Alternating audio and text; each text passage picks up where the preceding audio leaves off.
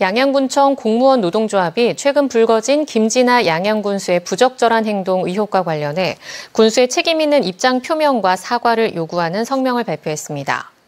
양양군청 공무원 노동조합은 성명서에서 의혹 제기 이후 군수의 구체적인 해명이 없어 군민과 공직사회 혼란을 가중시키고 있다며 즉각적인 입장 표명과 공식적인 사과, 군정 정상화를 위한 책임 있는 조치를 요구했습니다.